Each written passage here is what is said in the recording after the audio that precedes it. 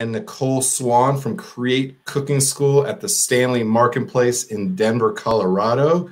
Thanks both of you for being on. Thanks for having us. Yeah, thanks so much. I am excited to talk to both of you. Real quick, as always, just uh, some housekeeping items. Get on the Best Served Podcast Facebook page, COVID 19 restaurant information thread. Comment with following so you can get notifications. Trying to hustle as much as possible, get real time information, plus just a lot of good resources on there currently. And you can stay connected to what's happening as we all need to know what's happening without going so deep into news and social media that we lose our shit because I've done that a couple times. So that's a place where you can get information in the hospitality industry. Also, go to hashtag 86 coronavirus thread on the Best Served podcast Facebook page as well. Direct donations happening there. Put in your Venmo, your PayPal. It's time for that hospitality we've showed for years and years and years through the industry to get paid back to us. So those are a couple of things to look at. I want to tell a story that last night I was thinking about the two of you because we have a little Facebook uh, group that Betsy started, and we've been just doing daily. Here's what we're cooking live in the group, including the fire alarm going off three times a night every time I cook because I I know the color equals flavor. Yeah. And so I'm smoking that shit out all the time, but damn it, we're just gonna show people it's real. Boys are screaming and crying and fighting over some toy last night, but that's just our life right now. And so last night I was making loco moco, one of my favorites, a Hawaii Yum. right? With ground beef, yeah. the jasmine rice, fried eggs, some kimchi. Love it. And I was channeling you guys because I wanted to give people a little bit more depth, like you would. And I gave them some techniques and tips on properly cooking rice so you don't get that nasty, over starchy, pasty rice. And also how to pull that stem off and tell the color of the stem hole, the little belly button there to tell if an avocado is ripe. So I was feeling you guys last night. So I'm excited to talk to you guys. Maybe we'll even find a way into some tips for people as well. Let's go back. Two weeks ago now, I can't believe it's been two weeks, but two weeks yeah. ago, shit's hitting the fan. Yeah. Let's start with you. You realize that you're going to have to make some pivots, potentially close down the business. Talk about that moment, just kind of for you personally and as an owner operator. For sure. And thanks for having me on again. Uh, I know it was like three weeks ago that we did the podcast. Um, and man, what a what a change that has happened even since then. But um, you know, having uh, hearing the news and seeing it kind of build up, uh, the Stanley Marketplace has been very very transparent and um, everything that's been going on, uh, and they've been using the resources ever since this uh, this pandemic started. And um, so there were a couple meetings even um, a week before uh, up to like two weeks before uh, leading up to our eventual closure. Um, and I just saw the severity of everything and how quickly it was ramping up. Uh, and we had gotten news the morning of two Saturdays ago, I want to say. Yeah. Um, and actually, Chef Nicole scheduled to work all day that day. Um, but uh, we we had gotten the news Saturday uh, morning that they were thinking about potentially closing down the Stanley Marketplace um, due to a uh, an order, or not even a mandate at that time um, through the city of Aurora. And I remember thinking and discussing with uh, my business partner Diego, um, you know what what would be the correct path here and our whole thought process through the entire thing is uh, two things. One, make sure that our employees are taken care of, and two, that we have enough working capital on the other side of this to be able to reopen. Um, so we decided pretty quickly uh, that what, what we knew was going to come, which was going to be uh, a mass amount of layoffs in the industry. Um, and I wanted my employees, especially since we are just a year and three months old, um, you know, starting to turn a profit, uh, that I, I, we had to let them go or lay them off. Um, and I told them immediately, and I, hopefully uh, Nicole can vouch for me here, but we told them as it was happening why we were doing it, uh, and to file for an employment as quickly as possible. Like, do not wait. Um, and I'm glad I in hindsight, I am glad I said that because the day after, or maybe a day and a half after that, is when restaurants were shut down for uh, dining services. Uh, so I was glad that um, my staff was able to get on get in on the forefront of the unemployment. Uh, that was a really tough day. I, that, I mean, I can go ahead and just label it as you know, shitty day 2020. You know, so uh, that, that was a tough day, and we just um, let our employees work work the day if they wanted to, um, and then after that, you know, we couldn't stress enough like this was to protect you, uh, employees. We wanted them to have some type of income, um, and it, it pained me that we weren't able to, you know, um, pay two, three, four weeks uh, while we we try to ride this thing out, but um, looking at the severity of things now and how things are ramping up, uh, I'm glad we did what we did. So. Yeah, that's a that's such a hard hard decision to have to make, and I'm glad you actually did it timely because then we've heard a lot of horror stories since about trying to get on unemployment and just unaware of what's happening and people clamoring to figure things out. So, uh, Nicole, from your perspective, I really like that I have both of you on uh, because sometimes there's definitely two camps. There's employees trying to protect their business and employers, excuse me, and employees feeling like they're getting the shaft because this is crazy. I mean, this is unprecedented. So I'm glad to have you both on. Nicole, your perspective, kind of from the other side, back to that time, the communication. I love hearing that from Raz. The communication was there. Talk about that moment for you personally. Um, it was just really hard. Uh, it it was coming. It was like you saw everything going down in the entire world, so you kind of knew that it was going to hit us eventually. It wasn't like it was a surprise. I don't like think that anyone had any like hard feelings about it happening because we knew that it was going to happen eventually. We just didn't know when. I was hoping for like at least another week that we had. Like I was like, all right, maybe we got one more week on this, and then of course we're gonna get shut down eventually. But I mean, it's no hard feelings. You know, Raz was great, basically communicating the whole way through. I mean, they do everything. Him and Diego do everything for us that they possibly can at any given time.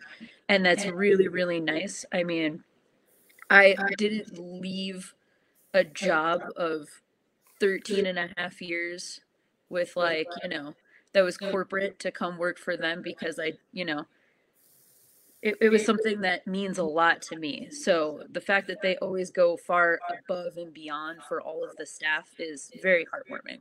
It's a family, it's not just a job.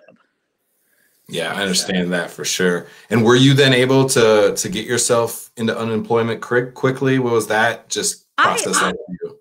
Whew, um, so unemployment, I have gotten all of my information except my PIN that has not shown up at my house whatsoever at all which I still don't have, and today's supposed to be the first day that we can file. So I don't know where this pin is, and I don't know. I've never applied for unemployment before. I've never had to. I have no idea whatsoever at all. So this is all new to me. Like I've been in the industry for so long and never had to deal with this before. So like this is really different, and I'm like, oh my god, where's this pin? Like, can I get in there? I'm supposed to do this filing thing. And then they came out with that post that I'm sure everyone has seen going across the internet that's like, don't apply for unemployment yet. Do it after we figure out what's going on. And I'm like, well, do we refile it? Do we have to do something more, even if we've already started a claim? I, I don't have any idea. And like, uh, luckily, my my boyfriend's mother is very very nice and go comes in as my mom half the time because I don't. My parents both passed away, so like I don't have anyone to call and be like, "Hi, I don't know what to do. Someone help, please." At the same time, so she mm. said because I just call her freaking out all the time.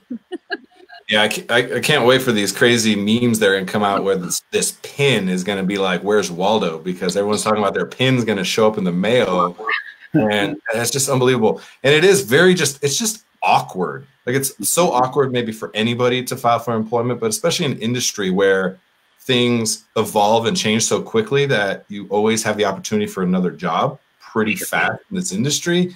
You're not laid off of a big corporate job where you might be two or three months, just the normal attrition and cycle of hiring that you get a new job. So we're just not very used to it. And so I can't say too um, that for those of you that have filed unemployment, um, it's a two-step process. Uh, number one is you actually filing for employment. Number two is an employer verification that happens about a week later. Uh, so, and that's usually in a paper form. Okay, so this is like they might as well send it on a messenger pigeon.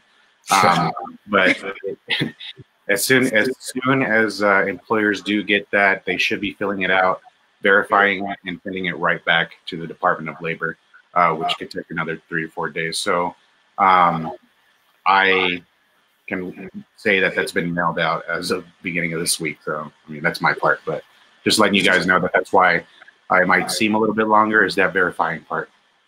Gotcha. So it is the responsibility of the employer then to verify that gets sent off before this pin will then Correct. get sent back. Yeah. Okay. So that level of communication and turnaround is going to be really, really key. It's probably another thing that people in the restaurant hospitality industry aren't used to on the employer side doing at massive scale. And a lot of them not being at their restaurants are probably not checking the mail. So maybe that's the PSA that you can take away from this episode. Employers, check your mail, get that turned around for your employees so they get this fucking pin already. Let's get everyone this pin so we can get this figured out. Uh, now, Nicole, I want to touch on you because you said you did have a, uh, a second gig that actually is keeping you working a little bit, which I'm thankful. I'm sure you're thankful for that because a lot very, of people have that just that little bit of safety net. Uh, talk about that and maybe how that's been disrupted and or how that's keeping you motivated because you got a little something coming in. Um, it's nice because I get to stay busy. Um, I, I work for a booking agency called Over Easy Booking. Um, and we're basically after this, um, the whole world's gonna kind of change a little bit, especially in the music industry.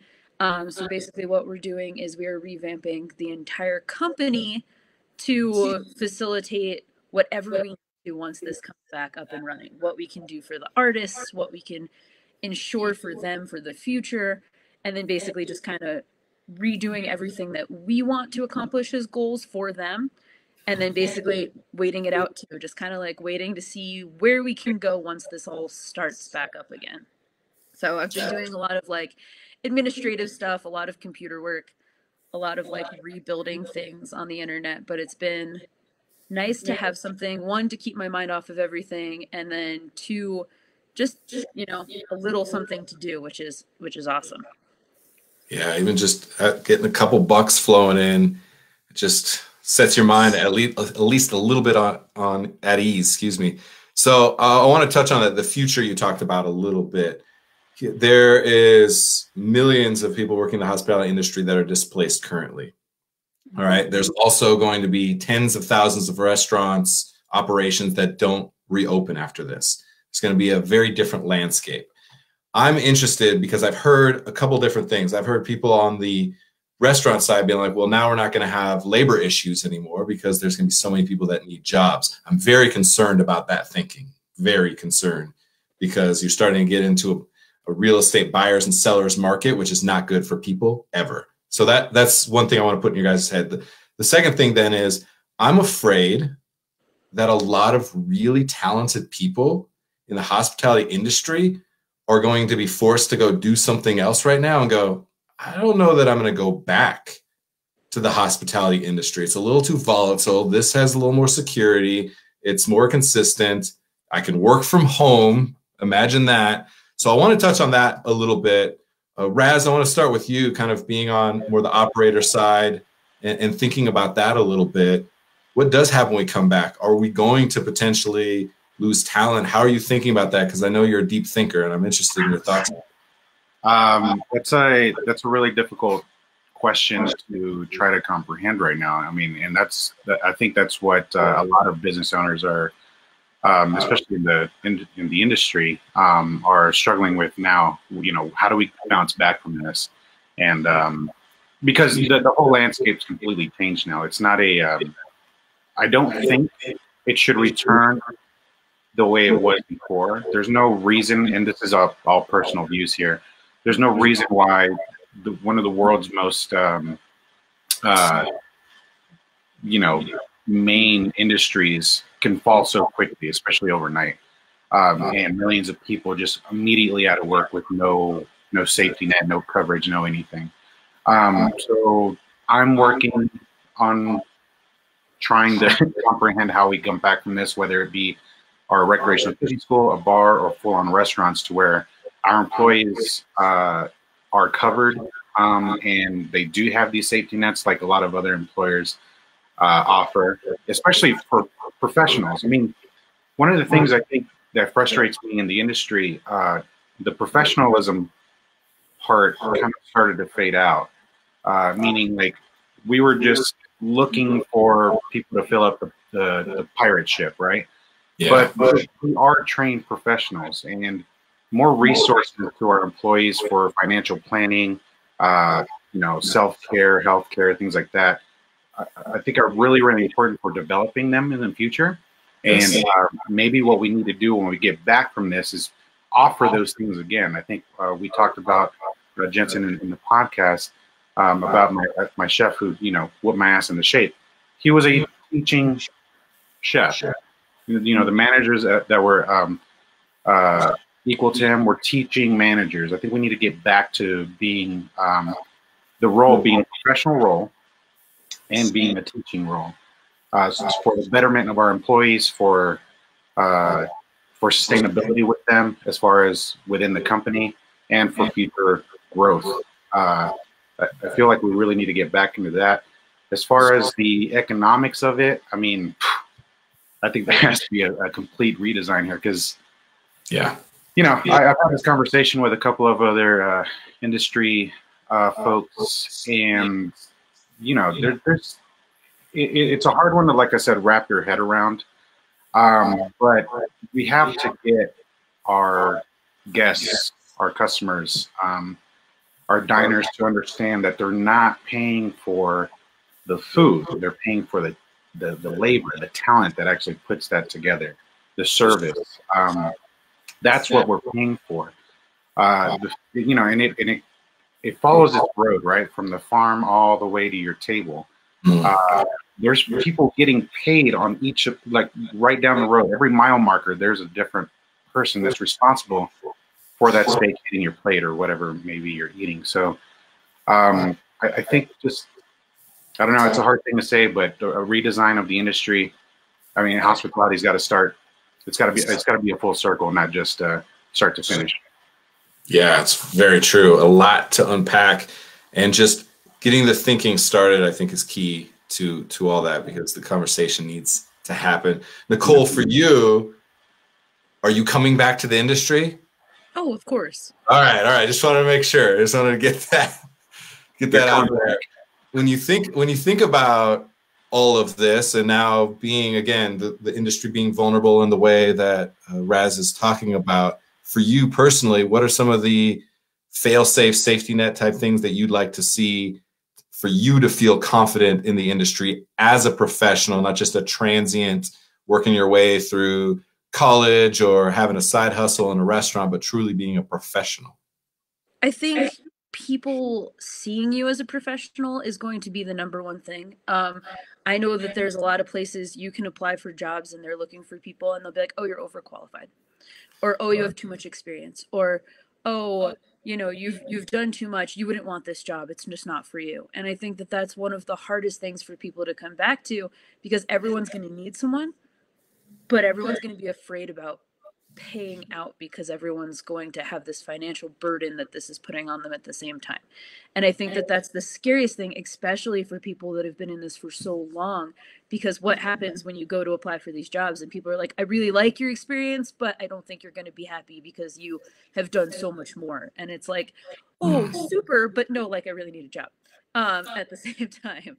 Um, and that's kind of terrifying because I've seen it happen during normal times, never mind you know, during something as bad as this has turned into. So, that's yeah, that's the hard thing about the uh, trajectory within the industry because it's so built on 19 year olds that just need bar money that a lot of the way that our financial models have been built out to Raz's point, the, rethinking the business model and the economics of it is really strained because you're complaining on one hand about high turnover, yet you're turning down qualified people that actually have an expectation of being booked as a professional at every level of what that means versus being built around you can pay a 19 year old kid $12 an hour and work them to the bone. And when they're done you spit them out and grab another 19 year old so that that's the kind of stuff we have to really take in consideration.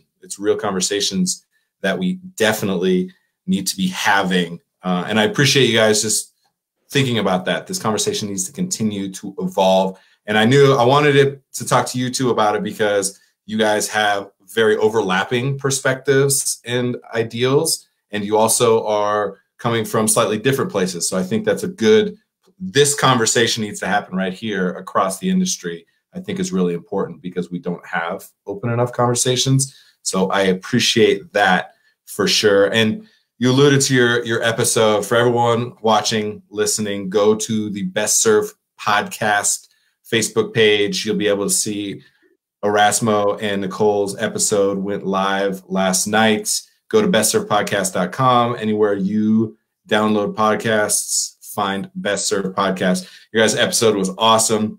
Love talking about menudo with mom and guilty food pleasures with raz. Just talking about Marlboro, New York, right? Yeah. And how Nicole was already hustling and building community and cooking into food at 13 when, oh man, all of us were just snot nosed punks. But Nicole, Nicole already was uh, was building that community and and in it. So appreciate that. Go check out that episode for sure. We need some levity right now. We need some feels. That was a feel good episode for sure. So check that out. On the feel good note, let's get some of your guys' playlists, some of the things that people can consume right now as we have entirely too much time on our hands. So, what are you guys doing, cooking, drinking, listening to, watching, reading? Uh, well, I'll start with you, Raz. What uh, what can we put onto our playlists right now from your recommendations? All right, to expand the mind, um, look into. Uh, I'm, I'm, reading Michio Kaku's book, who's a uh, theoretical physicist, uh, called Parallel called Parallel Worlds. Um, the the my, my, my brain is just like starting to I don't know flourish or something, but it's a really cool read, and he puts it in uh, quote unquote layman's terms for the everyday reader. Uh, I've been watching Fuck That's Delicious on Hulu with uh, Action Bronson. Um, that dude's entertaining. That, that's all I watch it for. Uh, obviously, the food bits are, are fun, um, but just seeing what kind of adventures him and his crew get into uh, is, is a fun watch. Um, and then, yeah, Netflix is just streaming something at all at all times. I mean, I keep reverting noise in the background. That's it. I just keep reverting back to The Office. Uh, so I like mean, Office fan, so there's like Dwight right there. You know, so. I like that you got uh, physicist and fuck that's delicious. Like the that's perfect. Yeah. That's what you need. Thanks. And yeah, then, yeah. yeah. Uh, yeah. I'm really, really into that. Nicole, what about what about you? Um, um, there is one of my my favorite podcasts that have been on. I'm a giant nerd, so everything I'm going to say is going to be terrible. Um, perfect. But one, one of the ones that I've been listening to that we just caught up on and I'm waiting on new episodes to come out is called Dungeons and Daddies. And it's a Dungeons and Dragons podcast with a bunch of guys that are playing dads that like wow. go into like a forgotten realm, like a forbidden realm kind of thing. And it's absolutely hilarious. And that's a lot of fun. Um, other than that, like some of my my favorite artists, like uh, Mike Herrera has done a cover of Goldfinger's Superman that's streaming all over the place right now. Um, it's acoustic and really really good. Um, nice. Very sentimental. You kind of want to cry when you listen to it, which is not what you get from the you know '90s version while you're playing Tony Hawk Pro Skater. Um, yeah. Yeah. um, other than that, um, I don't I don't read books that can't keep me engaged for more than five minutes. So I tend to revert to like teen-ish books, which would be I'm reading uh, Harley Merlin and the Secret Coven because I need something that will keep my attention, and my attention span is all of about two and a half seconds. So, um, so you fit in perfect in the restaurant industry. Oh yeah, like if I'm not moving, I'm sleeping. Like there's that's the only two ways that I work. So Well, I appreciate you sitting still for half an hour on this. That's great. I, I, I try. Just anxious, that's all. Um and then I've just been I've just been like cooking for my house basically. My my boyfriend and my sister, we all live together. So I've just been like, I'm bored. Let's do something. I'm going to yeah. make you food. Awesome. Done. Therapy for us and nurturing for them for sure. I want to touch on that real quick with the two of you as well. Uh, a couple things. I mentioned that I've been doing some some live feed stuff. Raz, I know you're doing some live feed stuff. Just whatever we're cooking. We did loco moco. We had some pho. Whatever it is that's going on in our house, we're just kind of letting people in a little bit, giving some tips as well. So, what are a couple simple things that you're like, oh, if you're cooking at home right now, this is something that you need to be uh, getting on. This is one of your go-to dishes. Maybe give us one or two from each of you. Raz, what's one for you? For sure, um, and I actually have a, a few. Um, I think four live videos now uh, that are well, I guess just not videos, but uh, I've been doing these cook-alongs um, about two a week right now, just kind of cooking out of our pantry. Uh, and I am starting to figure out that everyone's pantry does not look like mine. Um, uh, with you know, and I'm looking at it like these are essentials. Like, why don't you have flour and eggs and, and water? You know, um, so all they have is toilet paper, man. They got lots of toilet paper. I was like, sell a roll of toilet paper for a five pound bag of flour, and um, we'll we'll make magic happen. But um, if you want to check out those videos, just kind of go to face our Facebook page, uh, Create Cooking School.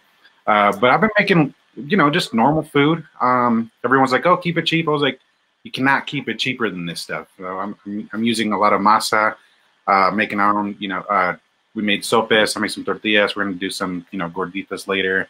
Uh, with masa, with masa harina, you can make arepas, you know, pupusas, you know, all different types of stuff. So, uh, doing that, I've got some Thai ingredients, so I'm still trying to up my Thai food game. And then Italian food. I mean, I'm making a lot of pasta sauces, uh, and well, lots of pasta. So I mean, you can't get cheaper than, than this stuff. So yeah, pasta is a, is a staple right now for sure. For me, it was rice. I keep telling people like I don't know why people are freaking out about toilet paper. I bought rice. Yeah. The only thing I'm hoarding is rice, and I feel good because there's still lots of rice at H Mart when I go in my once a week excursion. Yeah, I bought a bunch of rice because you can eat that. Oh, for sure. And I haven't eaten rice I'm leaving beans and rice for apocalyptic times. So like I have a reserve because I know that beans and rice is gonna be the the you know the, that's gonna be our dollar later. Um, and uh, if it reaches that point, like I'm just saving my 15 pounds of rice and 15 pounds of black beans uh, and pinto beans. Actually, I just have a medley of dried beans, but uh, yeah, beans and rice is definitely a staple that everyone should have in their house.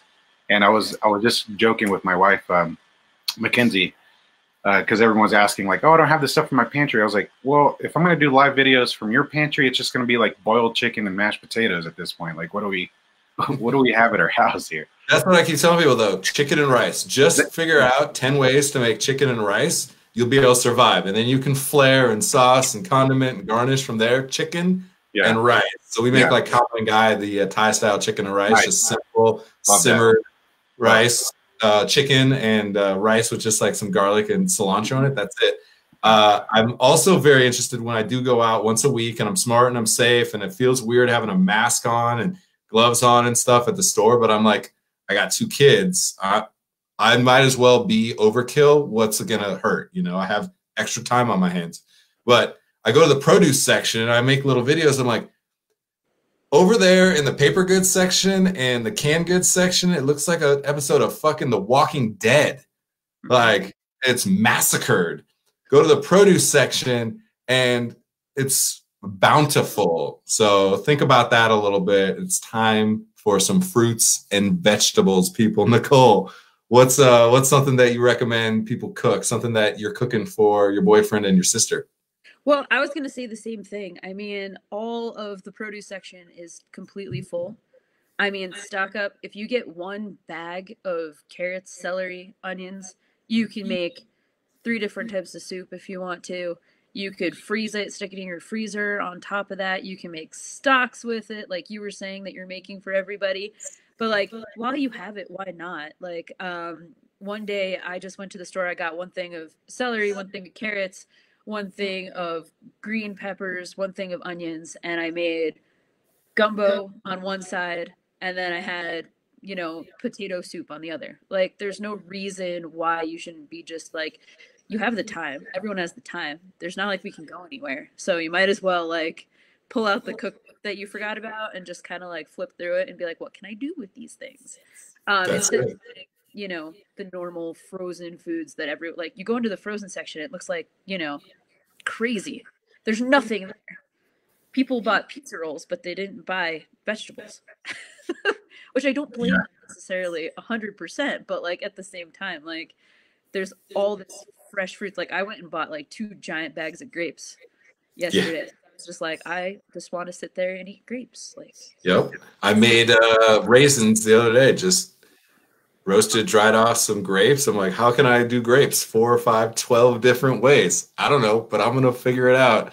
I think I'm slightly concerned for our cholesterol and obesity and diabetes come out of this because when I look at what people are buying, then I know what they're eating. And when I look at what they're not buying, I know what they're not eating. And that scares the crap out of me. So it's important to nourish your body through this time. It's hard. I had my moments where all I was eating was chips because we had four bags of chips in the house. So I had to hide them outside because for some reason my brain, I'm like, we got a lot of chips to eat. So I better do my part. And now we're meal planning a little bit better, being a little smarter, you know, getting some greens, people, dandelion greens and chard and things that are going to calm your nervous system down is really important. High in vitamin C, high in iron to bring vitamin C is good for the immune system. That's what I've been really preaching to people. So, Yeah, Thank chili peppers. chili peppers. sweat it all out. Just Yeah. like I mean, I can't tell people. I, I, you know, salt and pepper. There's more spices than just that. Okay, like have, have fun with it. Um, that's why I tell if you just watch my videos, I'm like, this is your sauce. This is kind of a base. Like, just make it your own. If you want it spicier, add some more. Uh, but you know, we're yeah. I mean, like like I said, the our pantries, I'm sure, all look different. But what I think are staples, um, I'm hopefully spreading the message out there that hey, look, there's another store right next to you know a couple miles down from King Soopers called H Mart or Pacific Ocean Marketplace.